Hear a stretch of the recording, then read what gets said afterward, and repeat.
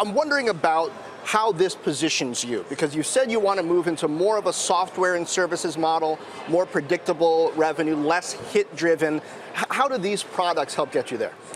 Yeah, for us to develop a recurring revenue model around software, we still need to have a large base of users who use our hardware. So one of our strategies is to reach new users, and part of that strategy is to enter more aggressively into the smartwatch category, which is the fastest growing segment of the wearables category overall, which is actually expected to double by the year 2021. And your first, uh, well, your most recent watch before this, the Ionic, you've acknowledged it missed the mark in a few ways. It was under price competition pressure. It, was designed for performance more than for mass appeal. This looks like it was designed more for mass appeal, and it's at 200 bucks. How do you expect it to perform differently, and how does it target a different customer, perhaps? Yeah, so Ionic obviously did not meet our expectations. That said, it was meant to replace our Fitbit Surge product in the performance category, and actually it's outselling Fitbit Surge at a similar stage in its life cycle. So it is doing well, just not as well as we expected.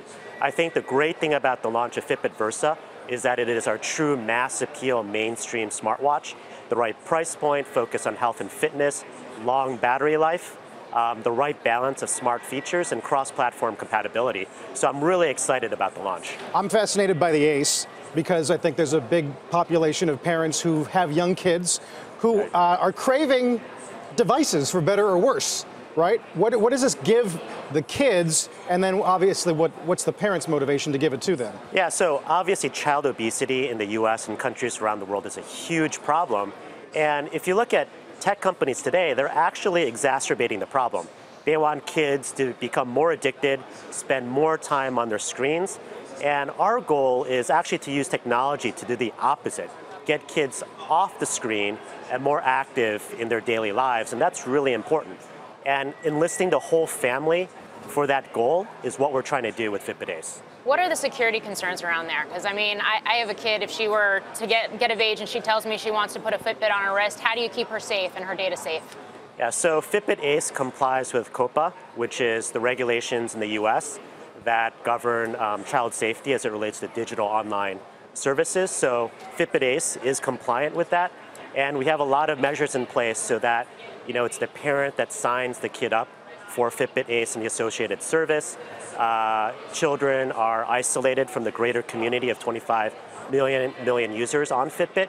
And actually, we restrict some of the stats that they see. So they can only see steps, active minutes, and their sleep and not some of the more adult-oriented stats such as body fat, calories, et cetera. Huh.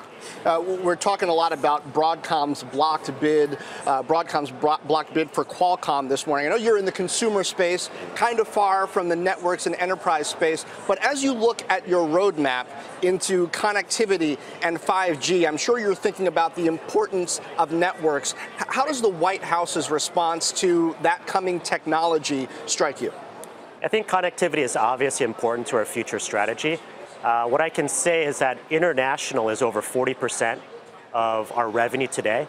It's growing very quickly. So my hope is that the conditions that enable that growth continue. Meaning?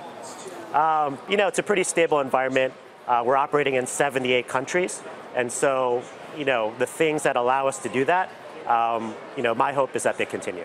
Your R&D costs more than doubled, I believe, between 2015 and 2017, but devices sold dropped by a little more than a quarter.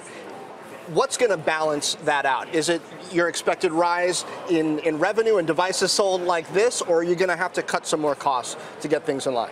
Yeah, we've already guided investors to about 740 million in OPEX this coming year, down from about 796 last year, which is actually below the target of 850 that we set for investors. So I think we've demonstrated that we've been pretty disciplined in our operations. What we're hoping to do is, with the launch of Fitbit OS and the Fitbit SDK, we actually made a huge upfront investment in critical software for our product portfolio, and that's actually something that we're going to be leveraging uh, with Fitbit Versa and future products as well.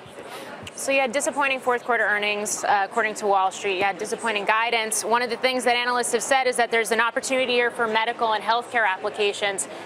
How far out are those, and how are you focusing on that?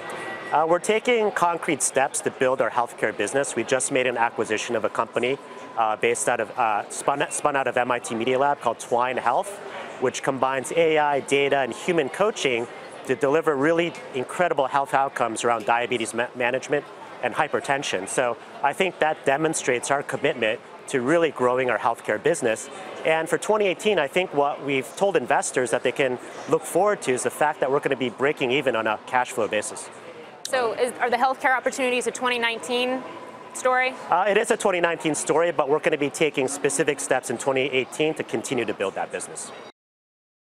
Hey there, thanks for checking out CNBC on YouTube. Be sure to subscribe to stay up to date on all of the day's biggest stories. You can also click on any of the videos around me to watch the latest from CNBC. Thanks for watching.